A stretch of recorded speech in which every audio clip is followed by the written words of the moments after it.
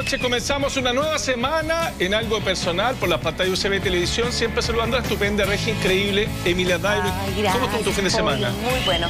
Tengo para mí el honor de presentar a un destacado director de cine, teatro y televisión, una leyenda de los medios de comunicación chilenos. Sergio Risenberg está con nosotros. Nos saluda. Sergio, gracias por estar con nosotros. Gracias. Te veo muy resfriado, por eso es un doble, doble agradecimiento de que estés con nosotros y hayas hecho el esfuerzo pese a la gripe. Y pese al cambio de gabinete. Pese al cambio de gabinete. Para que no digan que vamos grabados, estamos No, en para nada. El cambio de gabinete del gobierno de Ricardo Hasta me Lagos. sé los cambios de gabinete. Sergio Risenberg Friedman es un destacado periodista y director de teatro chileno con una vasta trayectoria en el medio televisivo. Desde niño, el cine americano fue su pasión y obsesión. Soñaba ser un gran actor de Hollywood y por eso que al terminar sus estudios en el colegio ingresó a la Escuela de Teatro de la Universidad de Chile.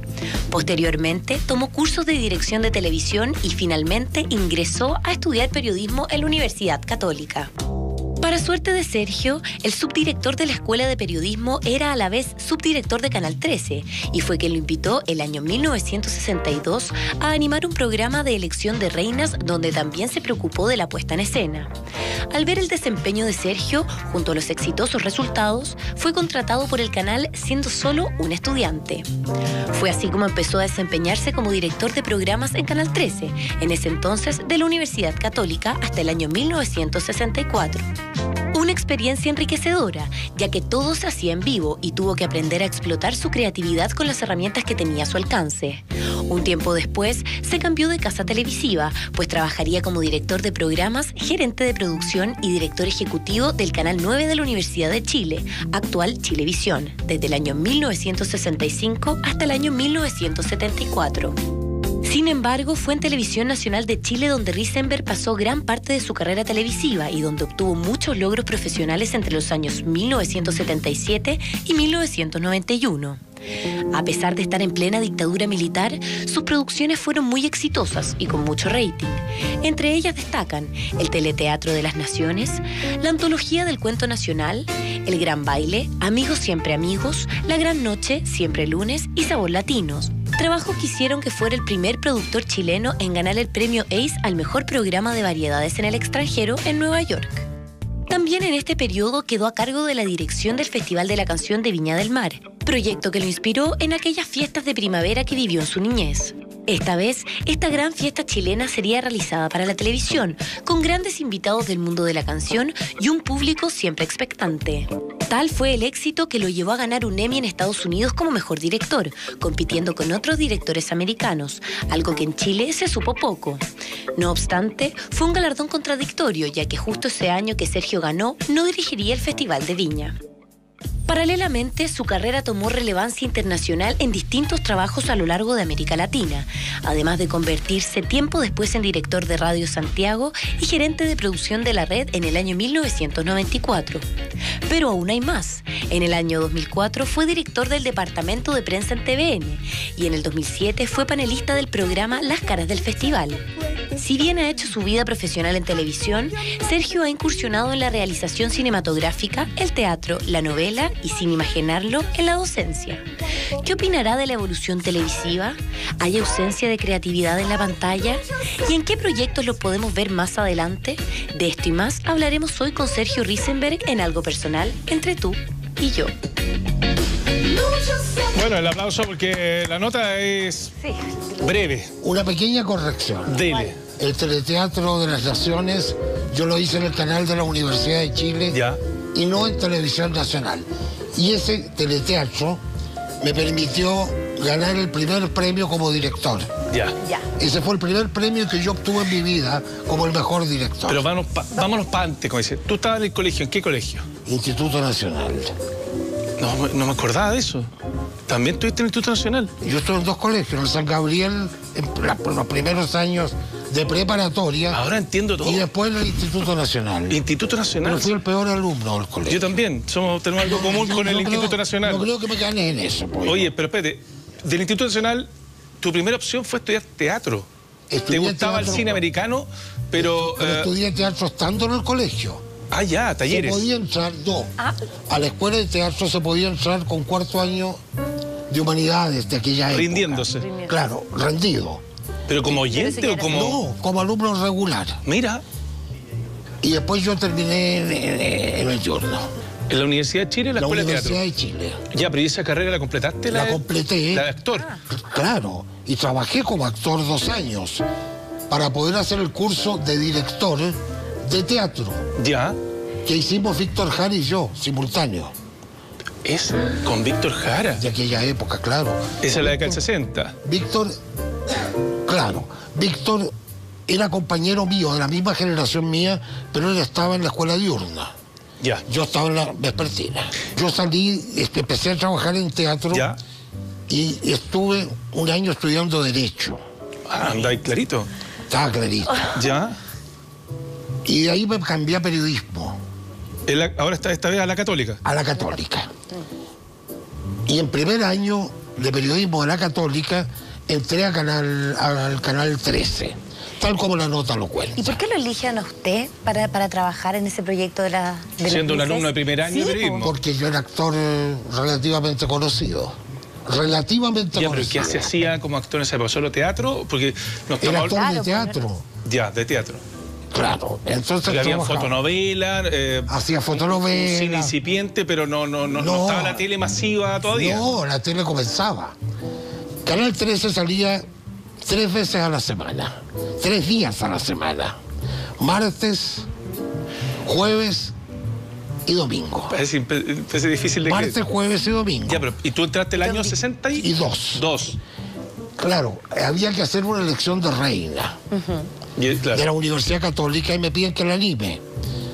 Yo no había visto. De animador. Claro. había visto televisión de paso en Argentina. Y hago la puesta en escena con los cantantes de la nueva ola y puse en diferentes mesitas, como si fuera una boate, a las figuras de aquella época. Tito Noguera con una candidata, Ricardo García con otra, Tito Fuyú con otra. Ya. Y no me acuerdo quiénes más eran las figuras de la época. Todo esto es como el Viva el Lunes, todos estos programas que después se convirtieron en estelares. Como... Y, yo, y yo iba uniendo todo. Se me acercaba a saludar, por ejemplo, a Noguera y lo dejaba conversando con la candidata. Ah, ya. Y a don Eduardo Tironi, padre, Arce, le gustó. Y a la gente parece que también. Y por eso te llaman a TV a Ahí me quedo en Canal 13. En el Canal 13, el año 60. ¿Y qué te, qué te encomiendan como otra? ¿Y qué pasó con la carrera? O sea, entre periodismo. Sí, yo terminé periodismo. Haciendo paralelamente. Pero además dirección. ¿Dónde estudiaste dirección de televisión? No estudié dirección de televisión. Nunca estudié dirección de televisión. ¿Pero qué se estudiaba? ¿Había carrera de eso? No había, en ninguna parte. La primera vez que hubo una carrera de estudios de televisión donde salió Sabatini fue en la EAC de la Universidad Católica, pero muchos años después. Claro.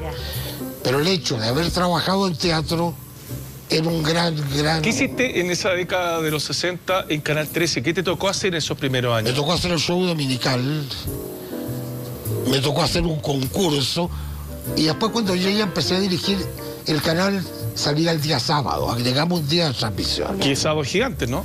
No. ¿Que iba los domingos no, al principio? No, no, no, no. Yo, claro, el show dominical, que lo comienzo yo con Ricardo García, de Coanimadores, imagínate, lo continúa Mario Kreuzberger ese año.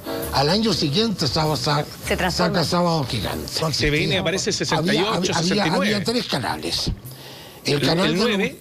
el 9, que era de la Universidad de Chile, el 13, que era de la Católica, UCB Televisión. Y pare contar. Que era el mismo canal, pero solo salía en, el lugar Es como partió todo, los canales universitarios, ahí les llegaron las concesiones. solo podíamos transmitir para Santiago. Además. Por eso existía UCB Televisión. Canales regionales, en el fondo. Claro. Cada, las sedes universitarias podían tener un canal de televisión, pero nosotros, por ley, por la ley que, que sacó Jorge Alessandri, solo transmitíamos para el lugar donde la universidad tenía la sede. Era Santiago. Qué buena Y en vivo siempre. ah, claro, no se grababa. No, pues, no, se grababa en esa época. Fíjate que yo hice un... pero perdón, esas teleseries contaban que se hacían y eran como un teatro en vivo. No, no había posible corten. teleteatro, Oye, yo el teleteatro de las naciones lo hacía en vivo. No existía el videotape. Teleteatros completos de grandes autores. Sí, pues. Yo me acuerdo que Miguel Litín, antes del Teleteatro de las Naciones, hicimos el Teleteatro Nacional. Hizo Higgins. Y en el patio de Chile Film, la cancha de fútbol, hizo una guerra con los militares, consiguió militares de verdad. Y terminó la escena de la guerra y los militares seguían guerreando afuera. Y no se escuchó, no se entendió Nada. nada, nada. nada. Qué o sea. O'Higgins no se escuchó nada. Que se. Pues seguían Oye, peleando ¿Y afuera. cuándo llegas tú a TVN? Pues TVN se funda en TVN. 68, 69 empieza fuerte, ya el 70 agarra vuelo. Yo llego finales del 75, Ah, ¿qué pasó entre medio? trabajé en el canal de la Universidad de Chile, Ya, de ahí vino el golpe, ya. yo fui confirmado, tuve un año y exigieron mi salida porque yo firmé los finiquitos de la gente que no quiso continuar o no pudo continuar Claro. En el canal de la Universidad de Chile. Entonces se entendió que era un despilfarro, no había para qué pagar. Y yo envié esos decretos a Contraloría Ya. y obligué a pagar A indemnizar. a indemnizar. Eso no me lo perdonaron jamás los militares. Entonces a don César Ruiz Danjó, que fue el primer rector delegado militar, le exigieron no mi salida, no soy tan pretencioso. Claro. La salida de 100 personas, entre esos yo. Ya, y ahí terminas tú en. Ahí me voy de Chile, Ya- Ah, de Chile. claro. ¿Y ¿Cuándo vuelve y vuelve a TVN? Entonces, a fines, como dijiste, el 75. Vuelvo, no, estuve un año, un año y medio. Claro, yo ya había hecho Gracia y el Forastero. Entonces tenía contacto con, eh, con Pelmex, la distribuidora y productora de cine Eh, eh, mexicana. va- vamos a tener un rato, porque por un lado corre el carril de las películas, por otro corre. No, en la película. se Por eso, pero que, que a mí eh, esa película en particular a mí me gustó porque eh, eh, era un libro obligatorio del colegio y una forma de saltarse el libro era ver las películas, igual que ahora. No, no, fuera de broma. Eh, eh, quiero eh, No te enfatizar que... Tú sabes que la buscan mucho, la película, Sí, para pues. no leer el libro. Acabo, Ya, vamos a la película, vamos te- te año cuento. 71, ¿cómo- llegas tú a hacer una película un dato. Gracia y el Forastero? Acabo de pasarle a mi hija una copia de Gracia y el Forastero porque tiene un amigo que vende películas en el Bio Bio, en el PERS. Ya. Y están haciendo copias de la película, por lo tanto, al amigo de mi hija le va a ir regio. ¿Cómo se te ocurre hacer esa película? ¿Te gustaba el libro? Eh, ¿Había una oportunidad? ¿Quién te la Es financia? que empezó... Fue lo una que cuesta hacer películas en esa época, más todavía. Es que fue una época en que los tres directores que hacíamos teleteatro en el canal de la Chile queríamos hacer cine. Celitino hace el Chacal, El Chacal yo hago el Forastero, Charles el César hace... No me acuerdo. Da igual. No me acuerdo cómo se llamaba la Ya, película. pero ¿cómo llegas tú a Gracia el Forastero? ¿Cómo logras convocar a, a Nino, a Enzo Viena, que era el Ah. actor de esa época, porque Nino la llevaba a la teleserie? Yo había ido a México, mi familia estaba exiliada en México, lo voy a ver.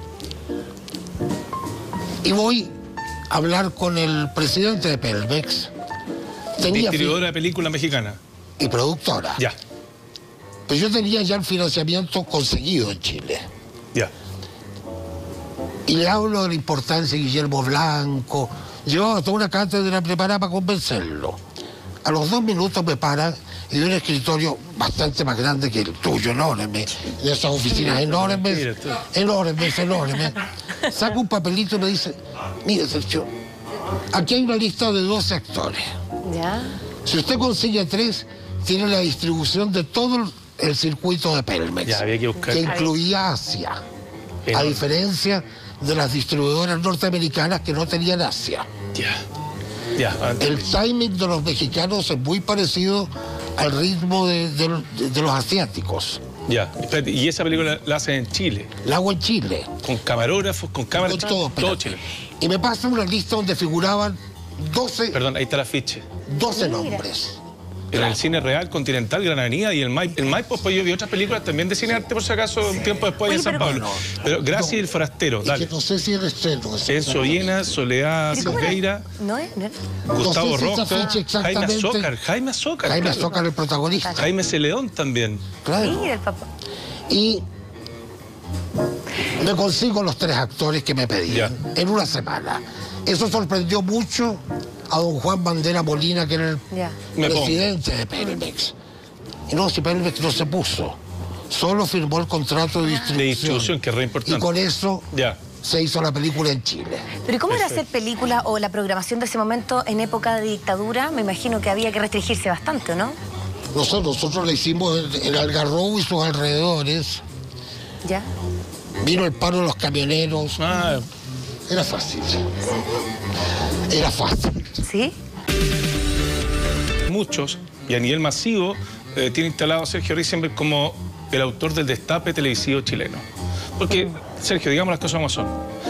Sabor latino, más allá de las nalgas, las pompas preciosas de Maripepa Nieto, hay una, ahí un punto de inflexión en la televisión, porque eso no había ocurrido. Nunca se había visto una cosa tan... Eh, y quiero irme a este, porque aquí está lleno de anécdotas, lleno de historias que eh, son mitos en la televisión. Digámoslo. ¿Tú sabías que Maripepa Nieto se iba a dar vuelta y iba a quedar con ese colales? No, pues si Maripepa no venía. ¿Cómo? Maripepa no venía. A mí me piden. Sao Latino, hagamos un programa calenturiento. No, no, no, no, ¿Cómo? No, pues pollo. ¿Cómo partió tonto? Así no fue la historia. ¿Cómo? Dale. ¿Cómo llega Sao Latino a tus manos? Venía una recesión económica en Chile. Uh Del 82, 83. Claro. Y TVN había sido el canal con más sintonía, pero Canal 13 estaba dando la madrastra que opacaba todo el éxito de TVN. 81, 82 nos contó Oscar Rodríguez la semana pasada. Y me llaman para hacer un programa Impacto, que postergue la recesión y anule a la madrastra. O sea, el pan y el circo. Y yo pienso, y el otro día les digo, hagamos vodevil. ¿Qué es eso? Revista musical. ¿Qué es eso? Musical. ¿Qué es eso? Miras en pelota, bueno. Obvio. Sí, de lo nuestro, de lo nuestro. humor, maestro, ¿a quién aprendí? Humor y miras en pelota. Lógico. Con una condición. Las cuatro señoras de la Junta no se meten. Que no opinen. No, no pueden. Que no vean. Es muy difícil, no, se lo veían. Es muy difícil hacer este programa porque yo tengo claros los límites de la televisión. Pero si además tengo que luchar contra la presión de las cuatro señoras de la Junta, mm. no voy a la cresta. Y no se metieron. ¿Eh? Alguien impidió que se metieran. ¿Quién trajo Maripepa? ¿A quién ah, no. Salíamos el 12 de octubre. Ya. Día de la Hispanidad. O el Día de la Raza. Claro. Claro. Y venía. Y Maripepa el Día de la. no, y venía la vedette más importante de España que se llama Alba o Alba Montiel. Ya. Y como tres días antes. Se cae. Me avisan que está enferma más enferma que yo hoy día. Mira. y que me iban a mandar, me proponían Parche. a una niña que reemplazó a la Cantudo. María José Cantudo. En Las Leandras. La Cantudo estaba contratada para el último capítulo. Claro. Y llega la Maripepa. Y no tenía mucha gracia yo al principio. No, pero ¿cómo si no nos reventemos a la Maripepa? Venía con un trajecito ah, bien modesto, claro, a ah, simple vista los ensayos. Yo le digo, bueno, muéstrame tu gracia. Era sala de ensayo. Se no tenía ni bikini. Y la Cecilia Lobato le prestó un bikini. ¿Me estás bromeando? No. ¿No, tenía, no traía ropa de trabajo? No traía ropa de trabajo. Ella empezaba. Entonces, yo me di cuenta de sus recursos. Ya. que no estaban principalmente en el canto. Ya. O sea, había talento oculto, pero que se podía poner a la vista estaba, estaba atrás el talento. Perdón, ¿cómo fue ese casting que hiciste para ir aprendiendo y para ir descubriendo? Entonces yo en sale ensayo le dije, mira, empieza a cantar de frente. Camina tarima y camina hacia adelante. Retrocedes. Tres veces. Y la tercera vez giras. Perdón, entonces tú le escogiste el etuendo ese, el vestuario ese, ese verde que usó. ¿Quién, ¿De quién es ese? ¿De, de la Lobato? No, se lo debe haber prestado la Maripé. Eh, ¿La Lobato? La, la Lobato, la sí, O el canal. Ya, pero, pero tú sabías entonces lo que iba a pasar cuando se diera vuelta. Estaba consciente del revuelo. Las condiciones estaban atrás y por no eso, en el canto. Por eso, claro, tú, Evidente. Cuando tú haces un primer plano, un traste, es, porque, sabes que va a pasar algo. Ahora, nadie lo había hecho. A, eso hoy, por, eso te digo bonito, si el día visto con los ojos de hoy, este usted es nada, o sea, no, no podemos... Ahora, Hoy Sabor Latino sería un programa infantil. Eso es lo que te digo. O sea, para la época, el derrier de Maripepa fue noticia, fue tema y ¡oh! escándalo. ¿Qué te pasó a ti? ¿Qué te dijeron? ¿Te, felicitaron algunos y otros tantos te han dicho depravado? ¿Qué los teocráticos hacían manifestaciones. Sí, me acuerdo. Frente al hotel. Los teocráticos, la, claro. La crisis moral.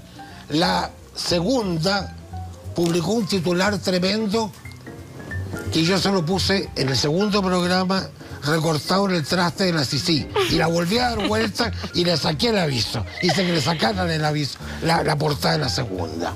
No sé, uno se entretenía también. Por eso, eso te iba a preguntar, eh, eh, Sergio. Eh, había una televisión que estaba había de no sé, de movimiento y que pasaran cosas. Veníamos de una época muy formal. ya con el tiempo después se despeinó más. una televisión estupenda. Mira. Estupenda. Yo te diría que se, hacía una televisión, si bien es cierto, con todas las restricciones en los noticiarios y las restricciones políticas de una dictadura. Editoriales, fundamentalmente. Claro, ahí nacieron programas como Informe Especial y, mucho más contacto que primero se llamó. Temas. Temas en, en, Vuelven, ¿ah? Ambos vuelven. Eh, Entonces, son clásicos. Son grandes programas que perduran hasta el día de hoy. Esa es una muy ¿Cuánto tiempo duró Saulatino? Ayúdame tú. Una temporada. ¿Una? Una temporada. ¿Y cómo no, se olvidó más? Yo creo el programa que duraba menos y, el más recordado. Y ocho capítulos, nada más. ¿Cómo? ¿Ocho capítulos? Ocho capítulos. ¿Saulatino? Sí, pues empezamos el 12 de octubre. Y yo después tenía que hacer Tremendo impacto para un programa de tan poco... Ocho capítulos y yo tenía que dirigir Viña. Entonces, todavía tiempo, papá.